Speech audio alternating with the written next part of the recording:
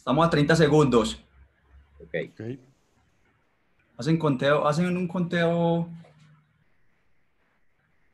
Es que aquí lo tenemos con el, con el reloj. Aquí lo tenemos.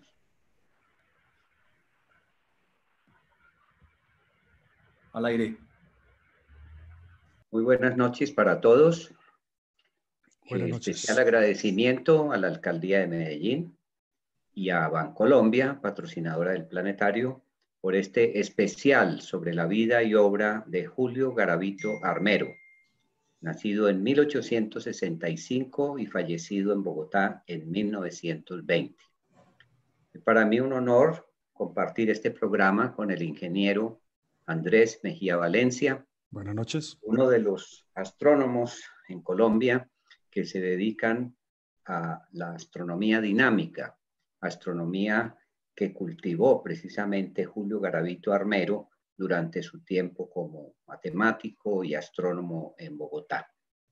Andrés ha tenido la suerte y la oportunidad de ser, y en ese sentido me siento muy orgulloso de estar con él esta noche, de ser un epígono, un heredero del trabajo de Garavito, porque en el planetario de Medellín, Jesús Emilio Ramírez González, durante varios años tuvimos las efemérides astronómicas gracias al trabajo de Andrés Mejía.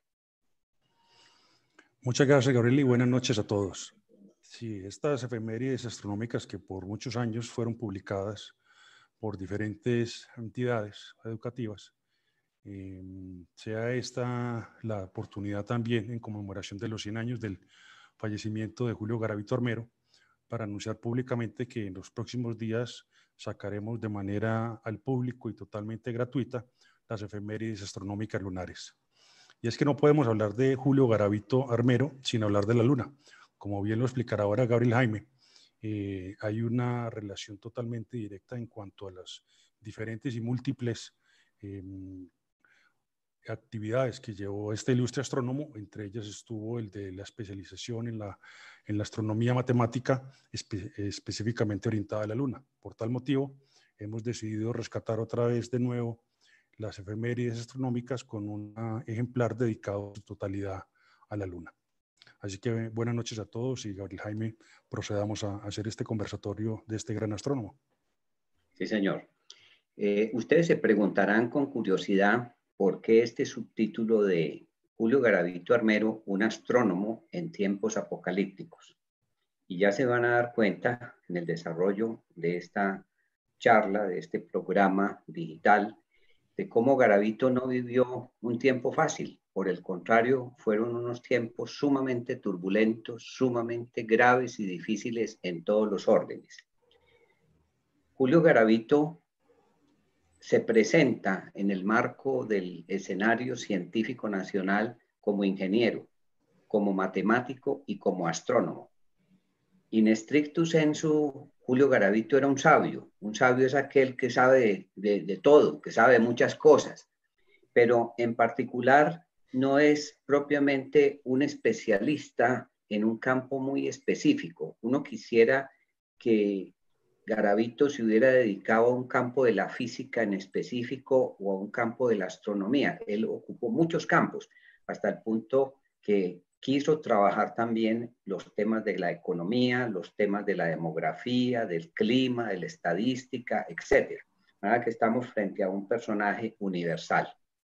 Para hablar de la astronomía en Colombia hay que hablar de la expedición botánica y hay que reconocer en justicia que fue José Celestino Mutis quien creó el primer observatorio astronómico de toda la América hispana.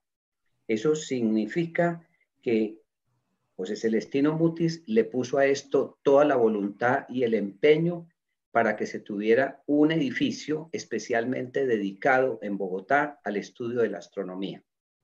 Pero Mutis no era un astrónomo in stricto sensu, era más bien un hombre también universal. Y para tener la consagración final de ese observatorio como astronómico, se necesitó la presencia de Francisco José de Caldas. Caldas es el autodidacta que llega a este torreón de arquitectura octógona construido en 1803 por Fray Domingo Petrés, a hacer los primeros trabajos propiamente astronómicos y a publicar lo que podríamos llamar son las efemérides astronómicas, el calendario lunar, el calendario anual. Aquí vemos un facsímil para el año de 1811, calculado para el nuevo reino de Granada, porque en ese momento Colombia, la República de Colombia todavía no se ha configurado. Y Caldas, en ese trabajo del observatorio, se va a ocupar de confeccionar las efemérides de la luna, la posición del sol en su salida, en su puesta, la posición de los planetas, hasta donde era posible en ese momento, y hacer las recomendaciones en publicaciones adjuntas sobre la agricultura, la construcción de vías, caminos, es decir, la importancia de la astronomía aplicada. El libro y el trabajo fundamental que le ayudó a Caldas a formarse como astrónomo fue la astronomía de Lalande, el astrónomo francés Jerónimo Lalande, nacido en 1732, fallecido en 1807. Estos libros entraron por el río Magdalena, los importaba Mutis y los importaba la gente rica de Santa Fe, y Caldas finalmente tuvo acceso a esta obra, fue la que lo nutrió, la que le dio la formación astronómica básica y se puede decir que era la biblioteca fundamental de Francisco José de Caldas con las cuales con la cual se inaugura en nuestro país el estudio de la astronomía. Julio Garavito Armero se va a convertir en su tiempo, estamos hablando de finales ya del siglo XIX hasta 1920, que fallece Garavito, en el oráculo de Bogotá todo el mundo tenía que ver con Garavito porque se le consultaba sobre lo humano y sobre lo divino. Y vamos a ver que en algún momento Garavito va a tener una tal tempestad de consultas, de inquietudes, que prácticamente merece este título que ya lo había tenido Mutis en su tiempo. El observatorio en esta bellísima imagen nos muestra la torre octógona recordando un poco el torreón del Observatorio de París, y uno, un observatorio que ha servido para todo. Ha servido desde para hacer estudios de astronomía hasta para fábrica de paletas, hasta para, para prisión del Estado. Aquí estuvo confinado Tomás Cipriano de Mosquera. Es decir, el observatorio nuestro, el observatorio nacional, este símbolo de la ciencia en Colombia, es un símbolo de lo que es, en cierta forma, la ciencia en Colombia, con sus altibajos, con sus vaivenes, con toda esta, dijéramos, turbulencia que siempre se vive en los campos de la cultura y del saber en Colombia. El observatorio se llama hoy Observatorio Nacional Julio Garavito Armero, en memoria del sabio astrónomo, pero lo construyó Mutis, lo inauguró Caldas, y es realmente esta trilogía, Mutis, Caldas y Garavito, la que va a poner los cimientos del estudio de la astronomía en nuestro país. Garavito nació en Bogotá un 5 de enero, en el seno de una familia respetable, sencilla, don Hermógenes Garavito, doña Dolores Armero, tuvo varios hermanos y al nacer Garavito, Colombia estaba constituida como la Federación Granadina. El presidente era Manuel Murillo, representante del radicalismo colombiano. A los 10 años, Garavito ingresa al Colegio de San Bartolomé. Ya no estaba regido por los jesuitas, era un colegio laico.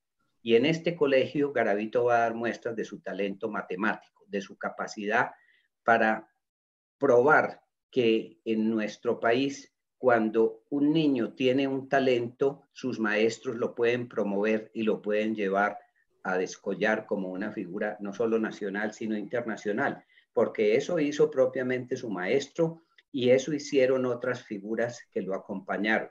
De manera que Garavito se va a preparar en el Colegio de San Bartolomé y luego en 1887 ingresa a la Universidad Nacional donde se gradúa como ingeniero civil y recibe el título como profesor, profesor de matemáticas y astronomía.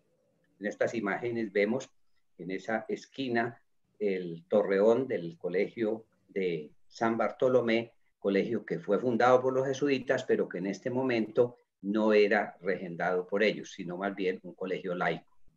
Garavito se gradúa, como ya lo dije, como profesor de matemáticas, ingeniero civil de la Universidad Nacional y se incorpora a la nómina de profesores para dar cátedras de cálculo, de geometría, de matemáticas, es decir, como todo un profesor. Se destaca científicamente como un hombre muy culto, como un hombre que tiene capacidad universal y por ese motivo entonces llega al observatorio y va a regentar ese cargo durante 27 años. Le había antecedido José María González Benito, un astrónomo observacional, un hombre que va a hacer observaciones del Sol, de la Luna, de los cometas, y que va a llegar a ser amigo de Camilo Flammarion en París, que va a recibir el título de miembro de la Academia Francesa de las Ciencias y que va a darnos a nosotros una posición destacada en el contexto de los científicos internacionales.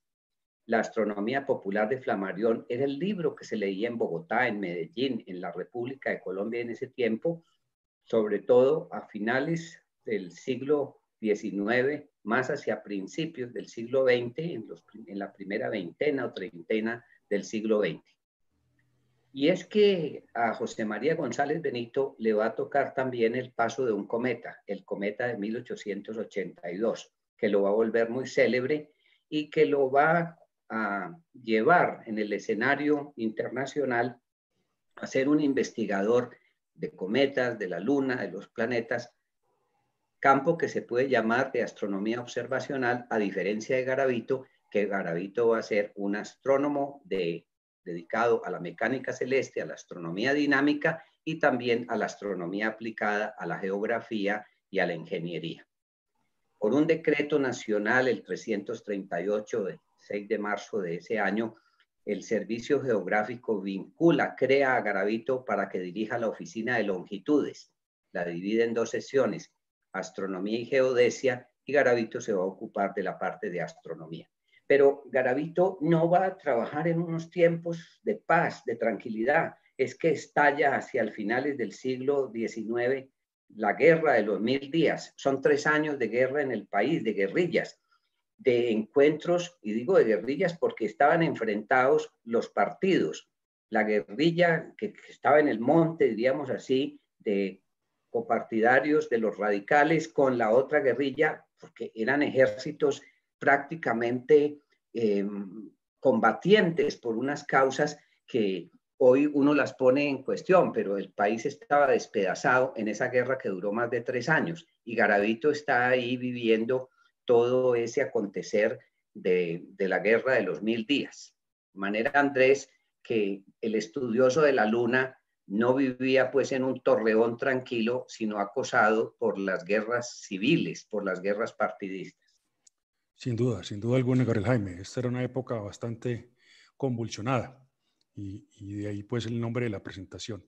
Sin embargo, volviendo a, aspectos un poco más agradables, diferentes a los de la guerra, aquí podemos en esta imagen ver una fotografía de la luna en su fase llena y la traemos a esta presentación porque aunque todos vemos la luna prácticamente durante casi todas las noches, no siempre recibe toda la, cantidad de observación que debería de tener. Realmente pasaría, en opinión de algunos, como por desapercibida en el sentido de que no fuese un cuerpo celeste digno de observación, cuando es todo lo contrario. La luna realmente no solamente es nuestro satélite, único satélite natural, sino que presenta durante todo el mes una serie de, posibilidades de observar sus diferentes accidentes topográficos o selenográficos, si lo diría algún purista. En esta imagen vemos cómo para un observador en la Tierra, la Luna, haciendo referencia a este recorrido que hablaba ahora, pasa por sus diferentes fases de luna nueva, que es cuando está exactamente entre la mitad de, visualmente quiero decir, de la Tierra y el Sol, por lo tanto, para un observador en la Tierra no es visible, es lo que se conoce como fase de luna nueva, y en su recorrido en el sentido contrario al amanecidas del reloj alcanza su primer cuarto en la parte superior de la imagen, donde se ve la parte derecha, un 50% de su hemisferio, y así sucesivamente durante otros siete días aproximadamente hasta llegar a la luna llena, que es cuando se encuentra diametralmente opuesta al Sol, repito, para un observador desde la Tierra, y siguiendo ese recorrido podemos ver cómo a lo largo de 29 días y medio, que es el que se conoce como el periodo sinódico de la Luna, podemos ver todas las fases y por lo tanto todo el hemisferio visible desde la Luna. Cuando digo hemisferio visible es que como si asemejamos a una esfera, que realmente lo es, de una manera muy aproximada, solamente podemos ver un hemisferio de la Luna. En esta, en esta imagen podemos eh, observar un calendario para todo el año en el cual para cada mes y para cada día vemos precisamente cómo va variando desde las fases de luna nueva hasta la fase creciente, llena, mengante, menguante para volver a luna nueva y poder saber entonces para cada día cuál será la apariencia de la luna en cualquier parte de la Tierra. Este tipo de, calendarios pues son bastante interesantes porque permiten realmente hacer las planeaciones de observación. Esta, esta imagen podemos comparar eh, la fotografía de la izquierda con la imagen de la derecha, con algunos de los principales accidentes topográficos más eh, reconocidos o de mayor eh, facilidad de observación. Cada uno de estos cráteres ha recibido por la Unión Astronómica Internacional a lo largo de, o por otros organismos a lo largo de la historia, nombres que hacen siempre referencia o a algunos accidentes en la Tierra, como vemos ahí los Montes Cárpatos, eh, otros a científicos y matemáticos, investigadores ilustres de la ciencia, de tal manera que cada uno de estos accidentes, como podemos ver acá, cráteres, mares, cordilleras, picos, ensenadas, haciendo referencia a sus pares en la Tierra, eh, cada uno recibe un nombre. Cuando hablamos de mares, claramente no estamos hablando de los mares como los conocemos en la Tierra con, con agua, sino que en el proceso de formación de la Luna hace unos 4.500 millones de años aproximadamente, fue sometida a un bombardeo incesante por varios miles de millones de años, de forma tal que estas manchas que vemos acá, eh, más oscuras que el resto de la Luna, aquí podemos ver tres mares, el de la serenidad, tranquilidad y fecundidad, eh, son realmente mm, residuos de material eh, de magma dejado por los impactos de, de grandes eh, objetos celestes que a lo largo de miles de millones de años se fue solidificando para dejar unas áreas más oscuras y menos meteorizadas como tal. En el mar de la tranquilidad, que se puede ver hacia la parte derecha, eh, fue donde aterrizó el Apolo 11 en 1969 y como veremos ahora no es eh, el único país que ha visitado la Luna, Estados Unidos, posteriormente eh, Japón, China, otros países, sino eh, tenemos, como decíamos ahora, un colombiano en la Luna, a lo que será referencia Gabriel Jaime más tarde. O aquí lo tenemos, de realmente suena, suena como bastante mm, em, llamativo pensar que hay un colombiano en la Luna y lo que hacemos referencia es que eh, sí, efectivamente, con el a la par con los grandes científicos, investigadores de, la historia de la, humanidad, Julio Garavito Armero fue en 1970 designado por la Unión Astronómica Internacional, eh, candidatizado, según entendemos, por el doctor Jorge Arias de Grave cuando era director del Observatorio Astronómico Nacional, entre varios cientos de, de candidatos. La Unión Astronómica Internacional tuvo a bien nombrar un grupo de cráteres en el hemisferio oculto de la Luna con el fin de dar reconocimiento específicamente a este gran ingeniero y astrónomo por su trabajo especializado en materias de mecánica celeste y astronomía dinámica. En particular, Julio Garavito fue bastante, bastante activo en muchos campos, como decía Gabriel Jaime ahora, pero en el tema de la astronomía, realmente mm, resulta bastante reconfortante ver sus antiguos escritos ya sea con los de la época de sus contemporáneos o inclusive los modernos de mecánica celeste y ver cómo realmente era una persona que tenía vastos conocimientos matemáticos que lo ponían de tú a tú eh, con estos grandes pensadores eh, internacionales y lo llevaron a desarrollar no solamente eh, algunas tablas complementarias para identificar su movimiento, sino en el estudio de la libración de la Luna. Aquí podemos ver, mediante la ayuda del programa Google Earth, cómo se ha identificado en esta, en esta imagen. El cráter Garavito es un cráter que tiene 74 kilómetros de diámetro y hace referencia entonces a, a Julio Garavito. Este cráter se encuentra en el lado oculto, de lo cual hablaremos ahora un poco más tarde. Gabriel. Garavito tuvo particular interés en el estudio de la mecánica celeste newtoniana y uno de los grandes eh, profesores de la mecánica celeste en Francia en ese momento era Henri Poincaré, nacido en 1854 y fallecido en 1912. Este científico francés fue eh, matemático, astrónomo, filósofo y era pues prácticamente el guía en materia científica de Julio Garavito Armero. Juan Caré perfeccionó eh, la mecánica celeste que había trabajado Laplace y que venía ya de Newton, de manera que era como la autoridad suprema en, en, en ese momento en que vive Garavito y en que dirige el observatorio. La relatividad de Einstein estaba apenas entrando. Y entonces eh, esas ideas relativistas de Einstein reclamaban unas matemáticas diferentes para entender el universo, sobre todo para entender la mecánica gravitacional de Newton. Esas matemáticas fueron exploradas en parte por Garavito, pero no le entusiasmaron tanto como le entusiasmó la mecánica clásica. Entonces se puede decir que frente al parangón Poincaré-Einstein, Garavito estuvo más hacia la figura de Poincaré, la mecánica clásica, la mecánica celeste clásica, y no le abrió mucho el curso a las ideas relativistas de Einstein. Por tal motivo, Garavito se ganó sus enemigos, algunos dijeron retrasó el avance de las ciencias porque no permitió que las ideas de Einstein entraran, pero no es así exactamente. La verdad es que eh, Garavito fue más bien un clásico. Entre los libros de Poincaré está la filosofía de la ciencia, la mecánica celeste y la visión de Poincaré del científico es que el científico no estudia la naturaleza por ganar plata ni por hacerse famoso, la estudia por el gozo que debe dar ese estudio de la naturaleza que está implícito en la belleza de la naturaleza. Pero la belleza de la naturaleza se capta de una manera intelectual también.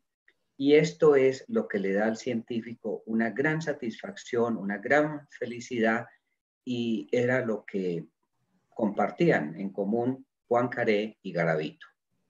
Aquí en la imagen vemos el libro del Tratado de la Mecánica Celeste de Pierre Simon de Laplace, nacido en 1749, fallecido en 1827, la gran autoridad de la mecánica clásica, es decir, cómo funciona el universo desde el punto de vista de la física y de las matemáticas. Ahí está la, traducción del libro eh, del francés y la exposición pues de, la, de las eh, ideas principales del modelo laplaciano. Aquí volvemos, Andrés, a la luna, que es el tema de Garavito, el tema eh, telescópico que atraía a la gente porque se estaban trayendo los, los primeros telescopios. No es que fueran los primeros en la época de Garavito, ya Mutis y sus contemporáneos tenían telescopios, pero es el objeto más atractivo para la época, ya que Flamarión, muy amigo de José María González Benito, hablaba de los posibles habitantes de la Luna. Entonces, este, este va a ser un tema muy atractivo entre los bogotanos, los colombianos, el estudio de la Luna.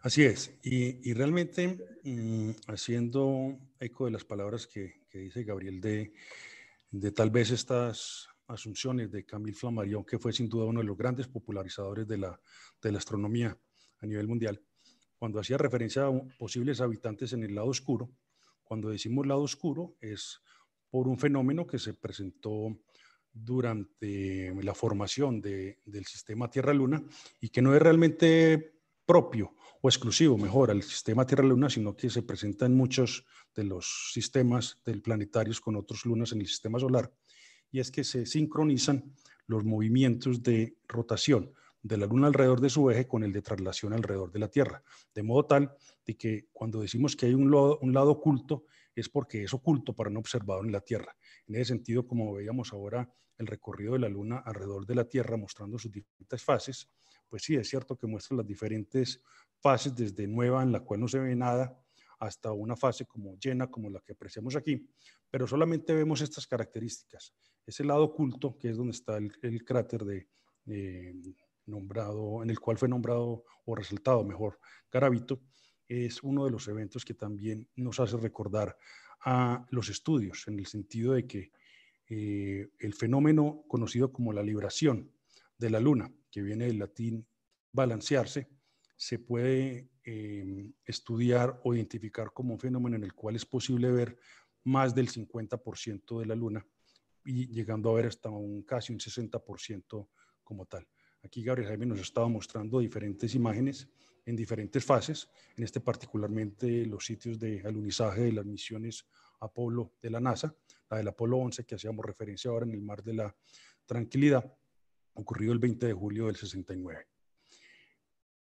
Esta, esta imagen es una fase de la luna creciente, luego de su primer cuarto, recibe el nombre de creciente gibosa. Eh, yo sí particularmente eh, me ha parecido como un poco injusto ese nombre de giboso porque viene de jorobado, tal vez es algo como injusto con la belleza de nuestro satélite natural, pero ese es el término que se refiere a cada una de las fases de la Luna. Aquí, Andrés, tenemos un aspecto interesante en la vida de Julio Garavito. Es que no solo se ocupa de la Luna, sino también del estudio de los cometas, del estudio de los eclipses y también del estudio de los terremotos. De manera que Garavito se va a volver muy famoso con estos astros, con estos cuerpos celestes, porque la gente de Bogotá y del país estaba muy curiosa de preguntarle, bueno, ¿cuándo vamos a ver el cometa? ¿A qué horas de la noche se va a ver? Y Garavito comienza a publicar estas efemérides que ciertamente requieren del cálculo de la mecánica celeste, de la astronomía dinámica, para poder dar las posiciones orbitales y para dar con relativa exactitud las horas de visibilidad. El cometa de 1901 lo comienza a ser muy famoso. Aquí vemos ese mismo cometa visto en la ciudad de Lima, en el Perú, y ya motivo de postales y de publicaciones, dijéramos, eh, atractivas para los turistas. Aquí el cometa Halley. Este cometa va a inmortalizar a Garavito de una manera extraordinaria porque el cometa era muy esperado y al mismo tiempo muy temido. Y Garavito se encarga de calcular la órbita, de dar las posiciones y horas del cometa y al mismo tiempo de tranquilizar a la gente. Había una creencia popular en ese momento y era que la cola del cometa iba a rozar la Tierra y que esa cola estaba compuesta de gases venenosos, entre ellos del gas cianuro que iba a envenenar la población. Entonces Garavito trata de aclarar todas estas cosas. Garavito hace observaciones en Bogotá y aquí se recogen algunas imágenes de lo que se vio, por ejemplo, en Nueva York. Una estupenda postal muestra el cometa de Halley en 1910. Aquí otra del observatorio de Mini, también en los Estados Unidos, y aquí otra también de los Estados Unidos con el cometa Halley. Lo vemos muy bien, cometa de 1910. Pero hay otro acontecimiento espectacular, muy esperado, el eclipse total de sol de 1916. Aquí Garavito va a jugar un papel protagónico porque va a crear eh, una comisión que se va a dirigir a, a Quibdó para observar el fenómeno y otra comisión que va a estar dirigida por él desde Puerto Berrío, en, en Antioquia. Y se va a tener la oportunidad de dar todas las instrucciones para que el padre Tomás Villarraga, jesuita, le diera a la población antioqueña, a los medellinenses, una información muy verídica, muy científica y muy tranquila, al punto que la gente de Medellín subió al Cerro El Salvador a observar el fenómeno con vidrios ahumados. En ese momento no podemos hablar de filtros de Mylar, ni hablar de películas, de radiografía, cosas así, sino de vidrios ahumados, que la gente los ahumaba con una vela, cogían un vidrio, lo ahumaban con la vela, le ponían bastante carbón y con ese observaban el, el eclipse. Yo no creo que más de uno hubiera perdido la vista, porque ya se hubiera conocido que pues, la gente disfrutó esto. Aquí se puede ver el Cerro El Salvador y abajo está Medellín, el 2 de febrero de 1916. Como ya lo dijo Andrés, la Unión Astronómica reconoció a Julio Garavito por sus méritos en el trabajo de la Luna, pero en general por el, el trabajo astronómico y esa propuesta del doctor Arias de Grey fue muy bien acogida y, muy bien recibida por la comunidad en general. Ese trabajo, pues, de poner un cráter con el nombre de Garavito, pues nos llevó a nosotros a ser reconocidos en el mundo entero. Así fuera un crátercito, que no es ni tan crátercito, en realidad es un conjunto de cráteres. Andrés nos puede mostrar ahí un poco mejor en esa imagen. Sí, son, son cinco cráteres realmente que reciben eh, esta distinción por la Unión Astronómica Internacional. En 1970 se denotan con, con diferentes letras, pero realmente es el conjunto de estos cráteres, cada uno causado por un impacto diferente en tiempos muy disímiles, por supuesto, pero que es sin duda un, gran honor porque eh, realmente solamente tienen en, en la Luna el nombre de aquellas personas, como ya le hemos dicho, de un reconocimiento especial en la, en la actividad o en su profesión o en sus quehaceres como tal. de modo que aquí ahora veíamos en otra de las diapositivas que en el billete de 20 mil pesos, que todavía se ve circular con, con, menos frecuencia, pero todavía se ve, se exaltó la, la, la memoria de Julio Garavito y lleva su imagen en esa, en esa imagen. Bueno, la verdad es que entre el año 1917 y 1918 se van a vivir en Colombia y en el mundo tiempos apocalípticos, es decir, tiempos en los cuales la gente tiene mucho miedo, como ahora, por ejemplo, y piensan que eh, el fin del mundo es inminente, que se va a acabar el mundo. A Garavito le van a tocar varias cosas. Primero, le van a tocar una serie de terremotos en Bogotá en 1917, días antes del gran terremoto del 31 de enero de 1917, hubo un sismo muy fuerte y alertó mucho a la población. Pero cuando ya viene este otro, este segundo terremoto de 1917, va a causar gran destrucción, gran destrucción de la ciudad Estamos hablando de, Bogotá, del centro de Bogotá, de los alrededores. Esta destrucción va a generar muchos muertos, muchos heridos, en fin. Y Garavito es comisionado por el gobierno para que investigue dónde se ubicó el epicentro y qué posibilidades hay de otras réplicas. De manera que Garavito va a ser protagónico en ese año. Aquí vemos en la región eh, muy cercana pues al centro, en Chapinero, de donde hubo destrucción. La gente tenía que venir a vivir en carpas por todos los daños que el terremoto hizo. Pero es que a Garavito le va a tocar el tiempo de la pandemia, el tiempo de la gran pandemia que azota a Colombia y el mundo en 1918. La gente ahora, todos, estamos preocupados por lo que estamos viviendo en el mundo entero la gran pandemia del coronavirus. Pero es que en 1918 se vivió otra pandemia, es decir, hace 90 años el mundo estuvo viviendo una pandemia enorme, gravísima.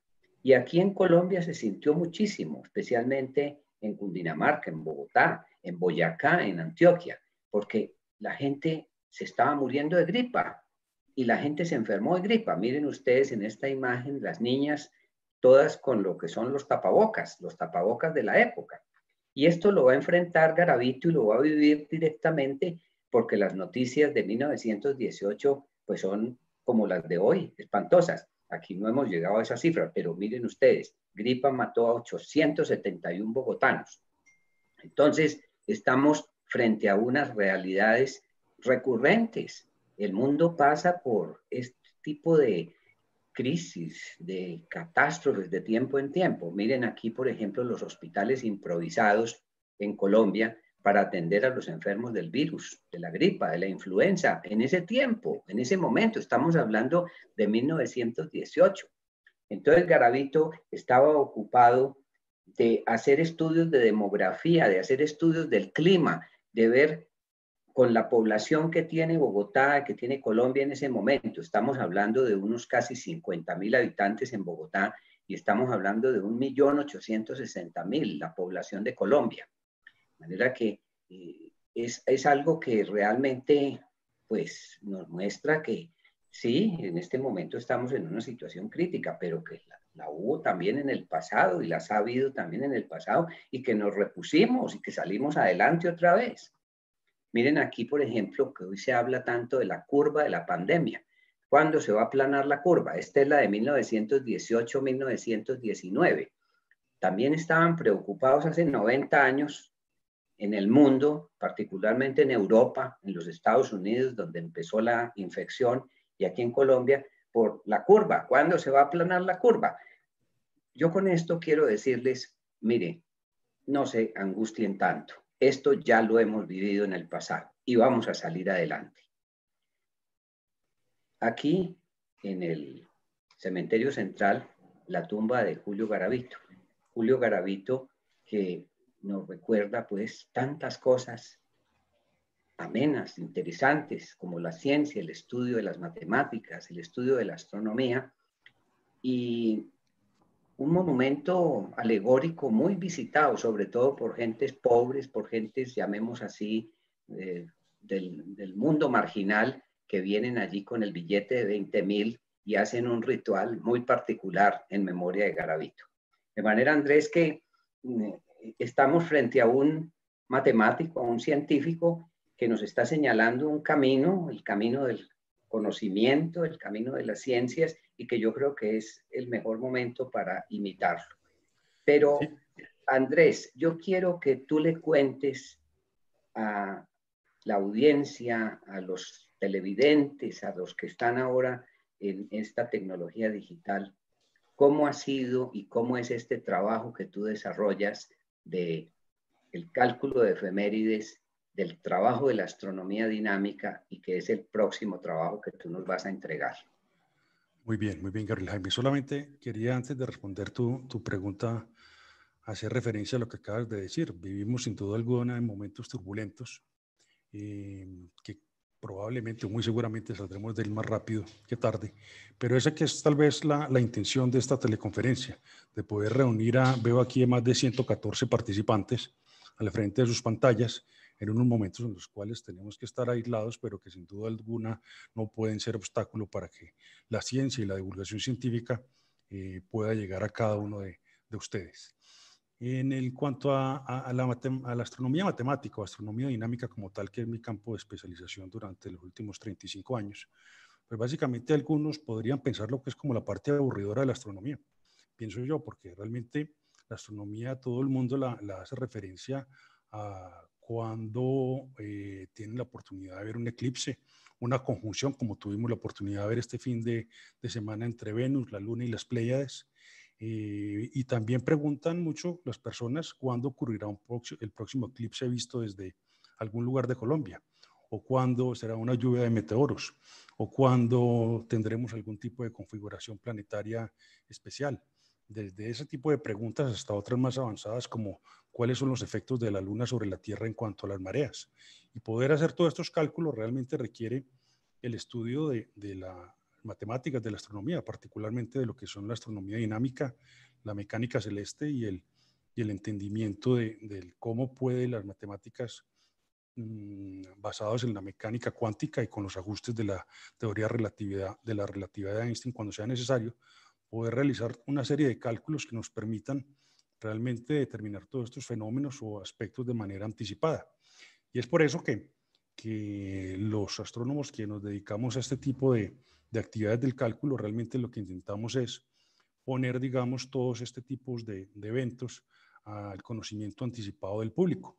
Así lo hicimos hace muchos años, durante unos 10 años pusimos en conocimiento o en el público las efemérides astronómicas y en conmemoración por la, la muy oportuna eh, señalación señalamiento o indicación de Gabriel Jaime de que con este centenario del fallecimiento de Julio Garavito no podíamos pasar mmm, sin tener otras nuevas efemérides astronómicas, pues como lo decía al principio de la intervención, en los próximos días las sacaremos las efemérides astronómicas lunares, haciendo eco lo que hicimos hace muchos años aquí en la ciudad de Medellín para todo el país, pero en esta ocasión las dedicaremos enteramente a la luna.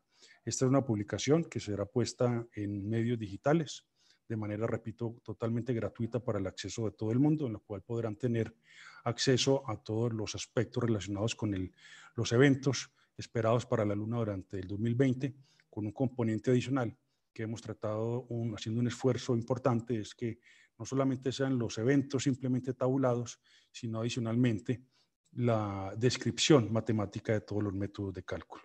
Así que esa es de, de manera muy, muy, muy sencilla y muy rápida, Gabriel.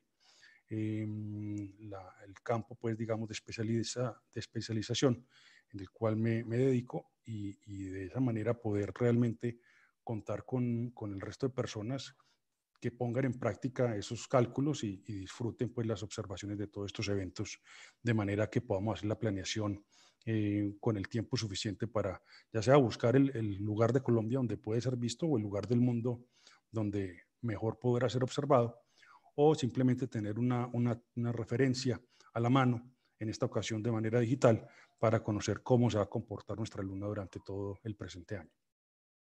Así es, Andrés. Yo me siento pues finalmente muy honrado con esta invitación del Parque Explora, del Planetario de Medellín, a continuar con estos programas de divulgación científica, porque la verdad es que todo esto ha tenido como origen la Sociedad Julio Garavito para el Estudio de la Astronomía, una sociedad que ha sabido dirigir con lujo de competencia el doctor William Lalinde Velázquez y que en manos de Campo Elías, nuestro querido amigo, presidente actual de la sociedad, hemos conseguido mantener unidos un grupo de aficionados, de amigos, de estudiosos de la astronomía, entre ellos Octavio Restrepo, Antonio Bernal, que se encuentra actualmente en Barcelona, Francisco Restrepo Gallego, eh, Diógenes Gil ya fallecido, físico, eh, Regino Martínez, que nos ayudó mucho con las conferencias que se encuentra en este momento en París. Muchos amigos, muchos allegados, fundadores de esta sociedad, que con su aporte han hecho posible que tengamos en Medellín y en Colombia la primera carrera de astronomía, que tengamos un gran planetario, que tengamos eh, una motivación hacia la astrofísica gracias a Jorge Zuluaga, que ha hecho ese trabajo tan bonito desde la Universidad de Antioquia. En fin, cada uno tiene pues sus méritos y se corresponden en esta conjunción de buenos propósitos, de anhelos, de, ganas de hacer algo grande por el país. El mensaje final es serenidad y confianza. Vamos a salir de esta turbulencia, vamos a seguir la guía de un sabio como Julio Garavito Armero, de que siempre hay que mirar hacia adelante, de que en las turbulencias uno no se queda, hay que salir adelante, esto va a despejarse y vamos a salir fortalecidos porque vamos a aprender que la humildad y la ciencia van de la mano y el compartir con todos y tener para todos un mundo mejor es nuestro propósito universal.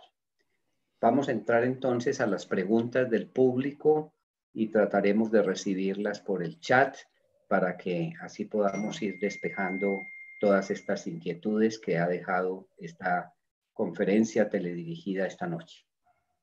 Muchas gracias. Muchas gracias a todos. Vamos nos a una pregunta, Gabriel Jaime. Sí. La primera de ellas es, ¿qué nos pueden hablar acerca de la vida de Julio Garavito cuando era niño? Pregunta de Zuli Zavala. Eh, Julio Garavito va a ser un niño muy sencillo, no va a ser pues una figura protagónica. Eh, se va a destacar, sí, por un, desarrollo de inteligencia especial, la inteligencia, dijéramos, relacionada con las matemáticas, que es un factor de la inteligencia, no es el único, hay muchos. Y desde niño va a tener predilección por el estudio de la aritmética, del álgebra, de la geometría. Pero como niño en general fue un niño común y corriente. Él va a tener más adelante, ya en su juventud, una pasión más, más íntegra, pues más total por la física y por la astronomía, pero en la niñez muy común y corriente.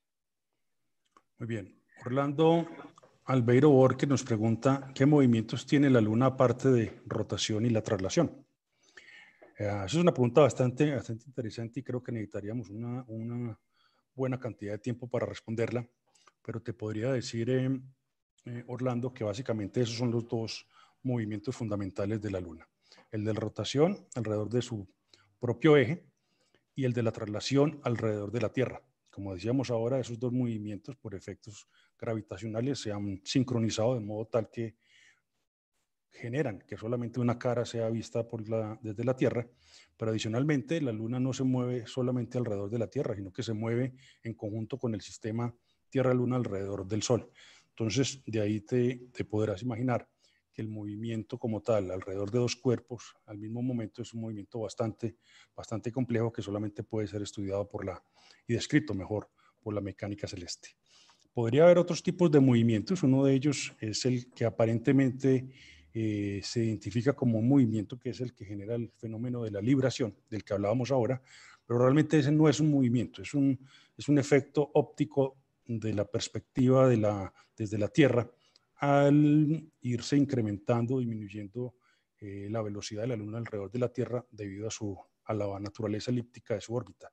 Esto permite que durante el mes, al irse acelerando la, la velocidad de la, de la traslación de la Tierra, debido a que su distancia es menor a la, a la Tierra, podemos ir viendo em, alrededor en los dos eh, costados, eh, tanto este como este, y como norte y como sur, un poco más de su, de su superficie hasta llegar hasta un 59% como tal de la, de la superficie.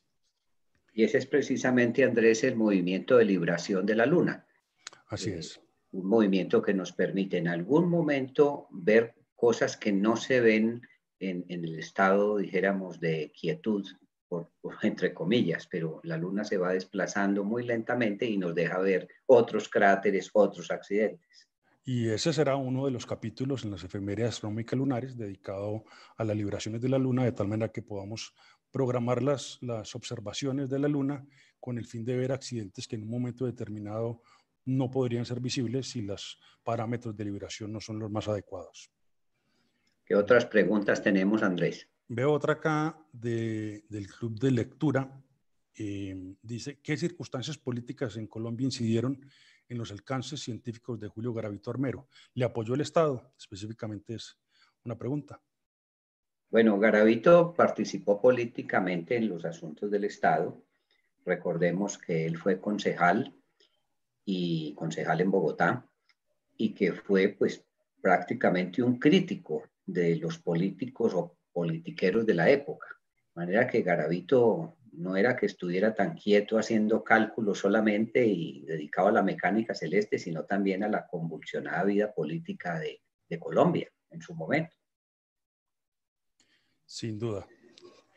Y mm, otra de las preguntas que nos hacen es, em, ¿qué corrientes filosóficas se desarrollaban en la época de Julio Garavito? ¿Cómo influyó esto en el desarrollo de su pensamiento? Bueno, en general, eh, las ideas de Laplace y particularmente las de Poincaré dieron origen a el determinismo.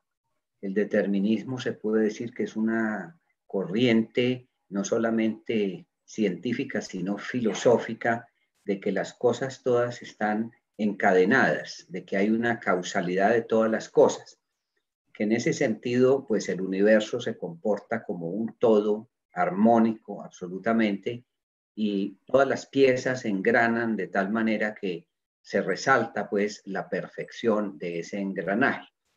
Eh, recordemos que Einstein va a aparecer en esa coyuntura y que la filosofía que va a nutrir a Einstein es fundamentalmente la filosofía de Spinoza, del filósofo holandés Benedicto Baruch Spinoza, que es un determinista. Pero es una filosofía también eh, de la ética, en el sentido de que al hombre le obliga a hacer el bien, buscar el bien, para llegar a ese contacto con, la divinidad, que es el mundo, porque la divinidad es el mundo, es la naturaleza, es todo. De manera que esa corriente es, muy fuerte, pero hay muchas otras eh, corrientes filosóficas, llamemos existenciales, que van a, tener vigencia en ese momento. Es curioso que por la época de Flamarión y despuesito de, de Garavito se den muchas de las corrientes espiritistas o espiritualistas. Me perdonan la palabra espiritista y espiritualista. Hoy se habla de la urgencia de vivir la espiritualidad, pero en aquel momento también se habla del contacto con los espíritus y es precisamente en esa coyuntura en la que aparece Alan Kardec y Elena Blavatsky. Y Flammarion va a participar mucho de esa corriente espiritual espiritista de la época. Bueno, muy bien. Hay otra pregunta que nos hace Edison Johan Pérez y es ¿por qué la luna rota? No rota, perdón. Y se pregunta que si no todos los cuerpos celestes rotan o que otros cuerpos no rotan. Y la, la, verdad ya me he referido un par de veces a esta pregunta, pero simplemente un pequeño comentario, Edison. La luna sí rota, por supuesto. Todos los cuerpos en el sistema solar rotan. La mayoría en el sentido contrario a las manecillas del reloj, visto desde una parte de su, desde arriba de su polo norte. Algunos giran en otro sentido. Pero realmente lo importante de, la pregunta que hace con respecto a la luna es que sí rota, pero repito, rota en el mismo periodo, en el mismo espacio de tiempo que le toma girar sobre su eje alrededor de la Tierra. Entonces, en ese sentido es que aparentemente no rota para un observador en la Tierra, pero para un observador por fuera, un astronauta, por decirlo así, o por fuera de la órbita de la Luna, vería rotar no solamente la Tierra, sino a la Luna como tal. Esas cuatro preguntas, Gabriel Jaime, nos fueron hechas por el, el Club de Lectura Científica de la Biblioteca Luis Ángel Arango de Bogotá, a quienes damos, pues, por supuesto, un saludo y los agradecimientos por participar con estas preguntas. Bueno, a ti Andrés, muchísimas gracias. Un honor estar contigo. Muchas gracias. Explora, Parque Explora, al Planetario de Medellín y nuevamente nuestros agradecimientos a la Alcaldía de Medellín, al señor alcalde Daniel Quintero y a Bancolombia, que es el gran patrocinador del planetario. Para todos, muy buena noche. Muy buenas noches a todos y gracias de nuevo.